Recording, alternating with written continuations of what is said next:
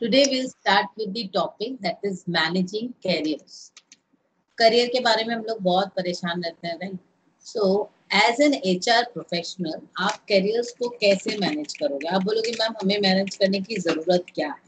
Right so managing careers is not about only from the aspect of an employee या आप as an individual बात करते हैं जब हम करियर्स की बात करते हैं तो ये एक ऑर्गेनाइजेशनल एस्पेक्ट भी है और ऑर्गेनाइजेशन में अपने एम्प्लॉयज़ को, आप बोलोगे कि एज एन इंडिविजुअल हम लोग अपने करियर्स को मैनेज कर रहे हैं।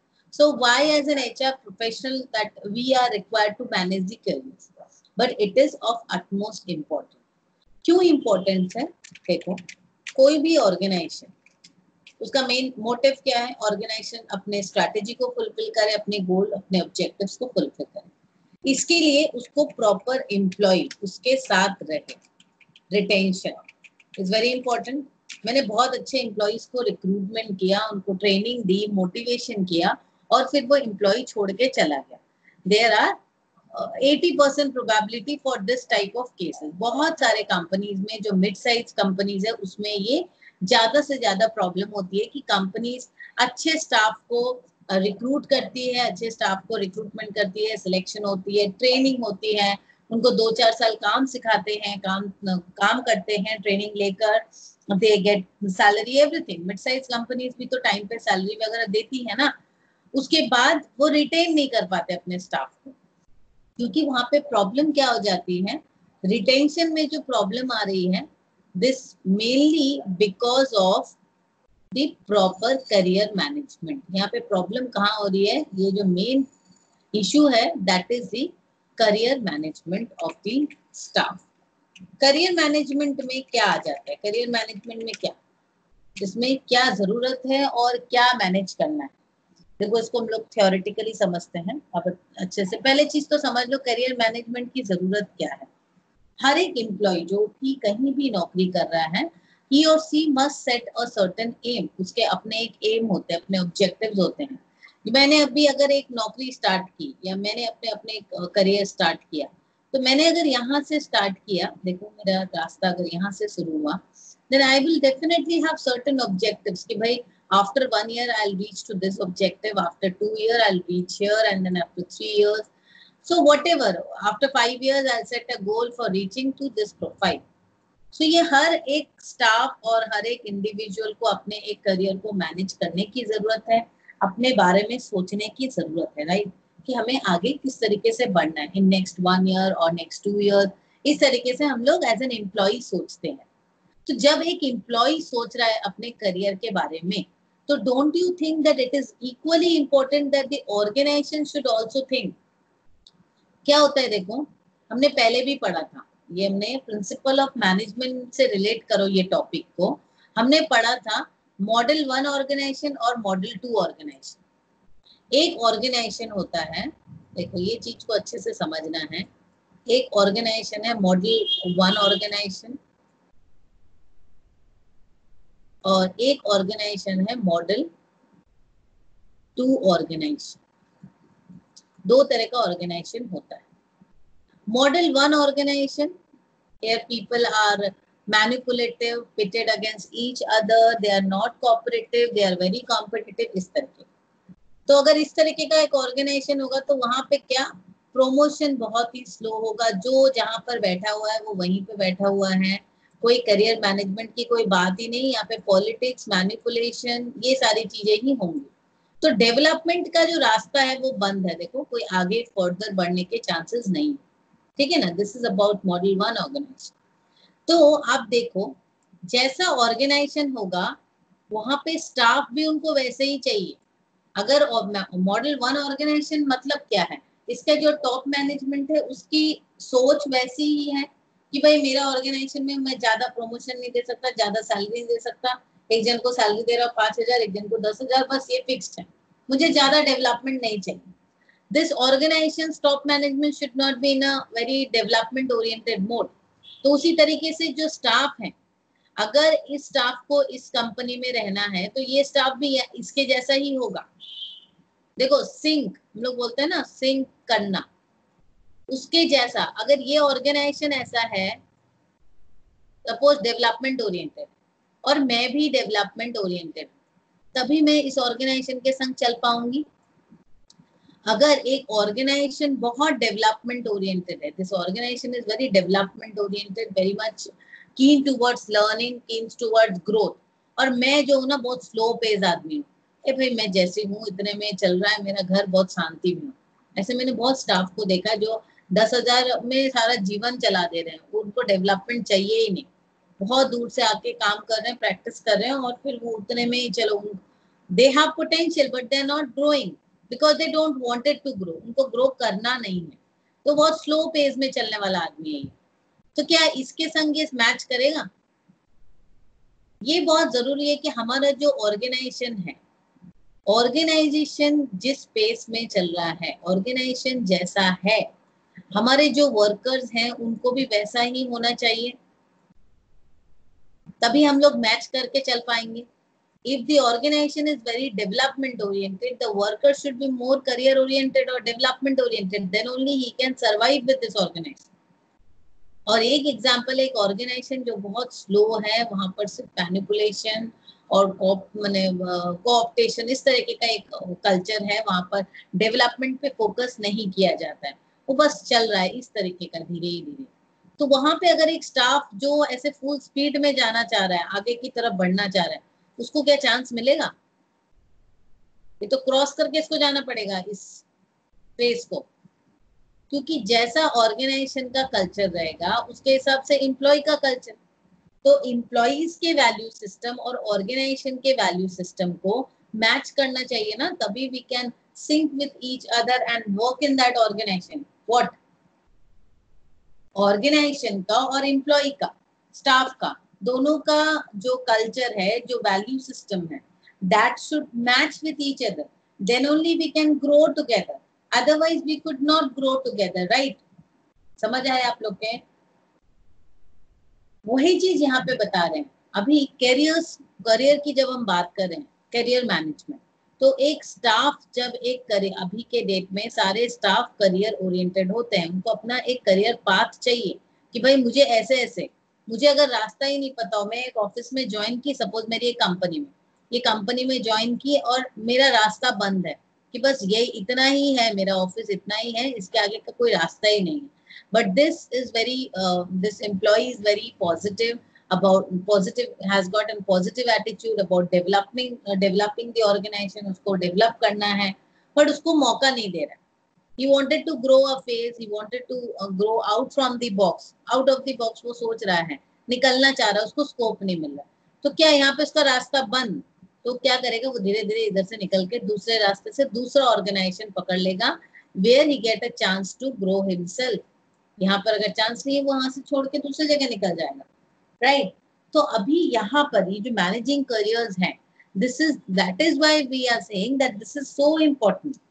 Organization should give employees an opportunity to identify their competencies and aptitude and then provide them with the right opportunities right now let us go to the book क्या बता रहे ऑर्गेनाइजेशन को अपने employees को employ को opportunity देना चाहिए so that they can identify their competencies किसकी क्या क्षमता है हम लोग जब करियर मैनेजमेंट की बात कर रहे हैं करियर के बारे में लोग कब सोचेगा? मुझे तो एक नौकरी मिल गई, बस हो गया, शांति है।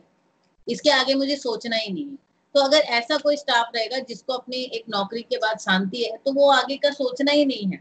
पर जिसके अंदर कोई कोर कॉम्पिटेंसीज है, जिनके अंदर कोई क्षमता है, आगे बढ़ने की इच्छा है, उनके अंदर एक एटीट्यूड है, उनका एक एप्टीट्यूड है, दोनों चीज़ की बात हो गई। एटीट्यूड भी है एप्टीट्यूड भी है। ठीक है? तभी तो हम लोग सोचेंगे ना आगे बढ़ने के बारे में। अगर ये रहेगा ही नहीं तो हम लोग आगे बढ़ने के बारे में सोचेंगे? नहीं सोचेंगे ना। हमारे अंदर है तो हम सोचेंगे। तो ऑर्गेनाइजेशन को क्या फोकस करना चाहिए कि वो अपने एम्प्लॉयज़ के कोर कॉम्पिटेंसीज उनके एप्टीट्यूड ये सारे को समझे। पहले चीज़ तो उनको आइडेंटिफाई पहले तो कंपनीज़ खुद आइडेंटिफाई करती है। ठीक है? इसलिए हमने मैनेजमेंट डेवलपमेंट के कॉन्सेप्ट भी पढ़े थे ना। आइडेंटिफाई करती है. And then give proper opportunity वो अपॉर्चुनिटीज़ प्रॉपरली प्रोवाइड करती है टू एम्प्लॉयज़ वो अपने एम्प्लॉयज़ को प्रॉपर अपॉर्चुनिटीज़ प्रोवाइड करेंगी that they would develop on it कि भाई मैं अपने एम्प्लॉयज़ को देख रही हूँ कि उसके अंदर ये क्षमता है उसके अंदर ये स्किल्स हैं. अगर ये स्किल्स हैं तो मेरा क्या मेरा क्या रोल होगा? मेरी मैं, मैं क्या करूँगी कि भाई मैं आपको ये डेवलप करने में हेल्प करूँगी. This will lead to the of a motivated and loyal workforce इससे क्या होगा? एक मोटिवेटेड और लॉयल मोटिवेटेड और लॉयल वर्कफोर्स क्रिएट होगा। सिंपल सी बात है। करियर अगर मैं एक एक ऑर्गेनाइजेशन में हूँ और मैं बहुत ही करियर फोकस्ड हूँ। Now if I am seeing that the company is also very career focused and company is observing my values or observing my competencies, they are giving me an opportunity to develop. तो इससे मेरा एक motivation automatically मेरा motivation और moral develop होगा right organisation should help their employees maximise their career motivation तो यहाँ पर सबसे इम्पोर्टेंट कॉन्सेप्ट क्या आ गया? That is career motivation organisation का ये फोकस होना चाहिए that they should give the opportunity for career motivation three aspect of career in uh, three aspect of career motivation. अब ये थ्री एस्पेक्ट क्या है? एक है रिजिलियंस इनसाइट एंड आइडेंटिटी अभी तीन चीज़ें मैं आपको समझाऊँगी। करियर मोटिवेशन में तीन कॉन्सेप्ट बहुत इंपॉर्टेंट है। एक है आपका resilience R E S I L I N C resilience उसके बाद हो गया इनसाइट और उसके बाद हो गया आइडेंटिटी रेजिलेंस क्या होता है? Career resilience is the degree to which employees can cope with the problems affecting their work. Career resilience क्या बता रहा है? कि किस हद तक मैं एज एन एम्प्लॉय कोई एम्प्लॉय की बात कर लो, एक एम्प्लॉय कोई भी काम कर रहा है, बोलते ना रिजिलियंस तो कैसे? कोई एक एम्प्लॉय को उस काम में कुछ प्रॉब्लम्स आ रही हैं तो उस प्रॉब्लम्स को वो किस तरीके से कोप अप कर रहे हैं? This is called career resilience is the degree to which employees can cope with the problems affecting their work. Career insight is the extent to which the employees are aware of their interests, skills, strength, and weaknesses, and how this perception relate to their career goals. तो एक हो गई resilience कि how you are coping with the work problems ये सबसे पहली चीज आ गई कि करियर resilience आपके करियर में जो प्रॉब्लम्स आ रही है उसको आप कैसे कोप अप कर रहे हो सेकेंड हो गई करियर इनसाइट आपको कितनी अवेयरनेस है? मैम ये कैरियर का एक एम्प्लॉय का इंडिविजुअल कैरियर का रेजिलेंस बने जो प्रॉब्लम हाँ. है हाँ। वो कैसे कोप अप कर रहा है? यस यस मतलब इंडिविजुअल यहाँ पे करियर जब मोटिवेशन की बात कर रहे हैं करियर मैनेजमेंट की बात कर रहे हैं मेनली देखो ये करियर जो कॉन्सेप्ट है ये career management career management is individual based ये इंडिविजुअली सबके लिए है। बट ऑर्गेनाइजेशन को इसके तरफ़ ध्यान देना चाहिए। ऑर्गेनाइजेशन का फोकस होना चाहिए। ऑर्गेनाइजेशन में career management should be a focus from the H R back आप देख लो H R point of view से ही इम्पोर्टेंट है। एच आर प्रोफेशनल्स को ही इसका, इसकी भी ज़िम्मेदारी दी जाती है।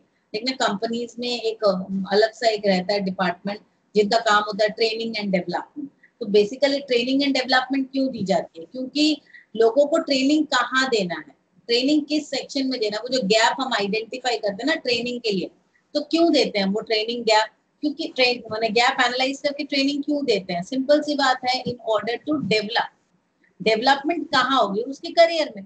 करियर क्या a long sequence of different profiles and positions you are going through in your professional life career का मतलब क्या होता है?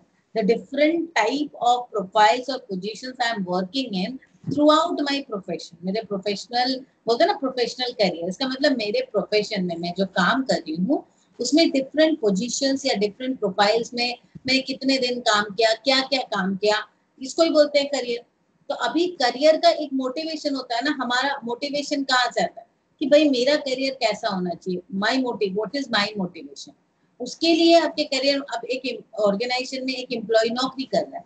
तो उसका करियर मोटिवेशन किस चीज़ के ऊपर डिपेंडेंट रहेगा? सपोज़ मैं एक जगह पर नौकरी कर रही हूँ तो मेरा करियर मोटिवेशन किस चीज़ों के ऊपर डिपेंडेंट रहेगा? तो ये तीन पॉइंट तो सबसे पहले आ जाती है, एक हो गई करियर रेजिलेंस देन हो गई इनसाइट इनसाइट मतलब माई अवेयरनेस मेरी अवेयरनेस कितनी है? Awareness of my own capacity मेरी अपनी कैपेसिटी के बारे में, और आप बोल दो कि मेरे अपने स्किल्स के बारे में अवेयरनेस ऑफ़ स्किल्स स्ट्रेंथ आप कुछ भी ले लो, ये सारी चीज़ हो जाती है कि आपका अपना इंसाइट क्या है। इसके बाद हो जाती है identity career identity is the extent to which employees define their personal values in accordance with work and the degree of alignment between the two career identity क्या डिफाइन कर रहा है कि मेरे जो पर्सनल वैल्यूज़ हैं, हर कोई का अपना एक पर्सनल वैल्यूज़ होता है। उसके हिसाब से मैं जो करंट जॉब में हूँ उससे कितना अलाइनमेंट है? द डिग्री ऑफ़ अलाइनमेंट ठीक है? तो क्या बता रहे? तीन चीज़ आ गई यहाँ पर। मेरा जो करियर मोटिवेशन है वो कहाँ से आएगा? कि मेरे करियर में सपोज़ मैं आ, मैं एक एग्जांपल दे रही हूँ। मेरे एक स्टूडेंट ने वो पहले उसने आ, एक सर्टन फ़ील्ड में जैसे साइंस बीएससी किया नर्सिंग में। उसने वो फ़ील्ड को ज्वाइन किया, क्योंकि वो उसको अच्छा लगा, उसने वो ज्वाइन किया। बट जब वो नर्सिंग में थी she did not like the job why this she did not like the job? Because there were lots of problem that is coming in तो करियर रिजिलेंस की जो डिग्री थी, वो उसकी बहुत कम थी। She could not cope up then inside उसके अवेयरनेस ऑफ़ स्किल्स उसको अपने अवेयरनेस उतनी नहीं थी, उसके स्किल्स के स्ट्रेंथ के। देन आइडेंटिटी उसके संग वो मैच नहीं कर रहा था। उसका जो पर्सनल वैल्यूज़ हैं जो उसकी पर्सनल लाइफ को एक सेप अप करता है and the job she is dealing with तो उसके संग अलाइन नहीं कर रहा था। जैसे मैं एक एग्जांपल देती हूँ, जब मैं यंग थी, बहुत young when I was doing my MBA तो मेरी सोच क्या थी कि मैं एक ऐसे चैम्बर में बैठूँगी, ऐसी नौकरी होगी, जहाँ पे लोग आएँगे तो मेरे से अपॉइंटमेंट लेके आएँगे और मैं एकदम अलग सा केबिन होगा so that time that was my career motivation I reach to that level also I am happy to share तो लेकिन after reaching to that level once I got married मेरे बच्चे हुए, फिर मेरा जो रेजिलेंस था, वो चेंज हो गया। मैं उस प्रॉब्लम्स को डील नहीं कर पा रही थी। घर, बच्चे, बाहर प्रॉब्लम थी। अवेयरनेस मैंने अपने इंसाइट में देखा कि मैं उस, मेरे उतनी स्ट्रेंथ नहीं है कि मैं घर, बाहर सब कुछ मैनेज कर सकूँ। और आइडेंटिटी मैंने आइडेंटिटी भी चेक की मेरे जो पर्सनल वैल्यूज़ है, मेरा वैल्यू सिस्टम मेरे हिसाब से मेरा वैल्यूज़ डिफाइन करता है कि मेरे बच्चे मैं संभालूँगी। मैं किसी बाहर वालों के हाथ में अपने बच्चों को नहीं दूँगी। That point of time when I left the job मेरा वैल्यू सिस्टम ये डिफाइन कर रहा था दैट मेरे बच्चे मैं संभालूँगी। That was my personal values ठीक है? It can be any one their own type of personal values तो मेरा वो था। तो वो मेरे जॉब के संग अलाइन नहीं कर रहा था। कि मैं अगर नौकरी करने जाऊँगी जॉब करने बाहर निकलूँगी तो मेरे बच्चों को तो मैं नहीं देख सकती। उसको किसी और को हाथ में देना पड़ेगा। तो उस टाइम वो वैल्यू मैच नहीं कर रहा था इसलिए मैंने नौकरी छोड़ दी। करियर मोटिवेशन चेंज हुआ। करियर मोटिवेशन ऑल्सो चेंज ये मेरा अपना पर्सनल एक्सपीरियंस है। सो so, उसके बाद मैं इस टीचिंग लाइन में टीचिंग में हूँ इतने सालों से। तो इसका मतलब क्या? मेरी मोटिवेशन चेंज हुई टू वन एक्सटेंट और वन जॉब टू अनदर होता है ना एक प्रोफेशन से दूसरे प्रोफेशन में शिफ्ट होना। सो करियर मोटिवेशन चेंज हुआ।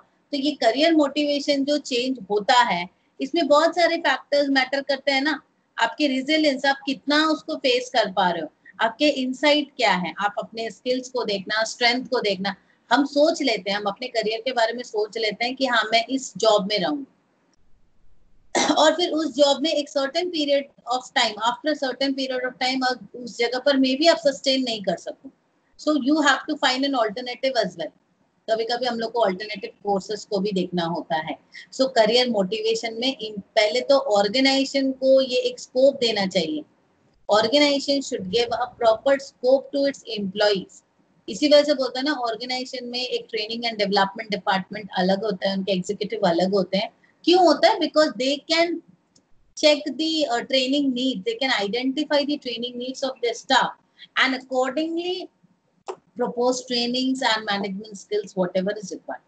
तो करियर मोटिवेशन में ये था इंडिविजुअल एस्पेक्ट ये जो मैंने पढ़ाया अभी अभी तक जो मैंने बताया this is mainly the career management और career motivation for individual as an individual आप और हम कैसे सोचेंगे अपने करियर के बारे में?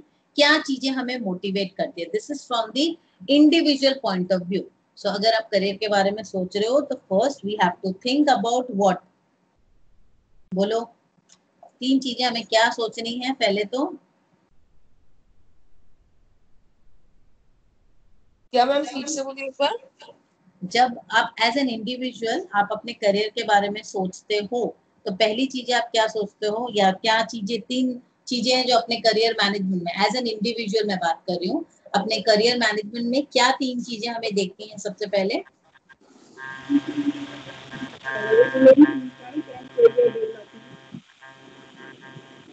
नहीं सुनाई दे रहा है।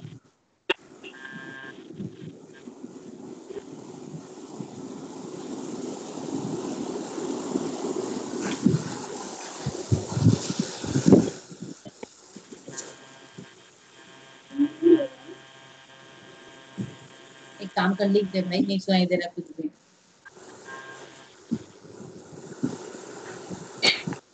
मैम पर्सनल लेवल पे उन्हें personal career management as an individual level पे बात कर रही हूँ मैं। अगर एज एन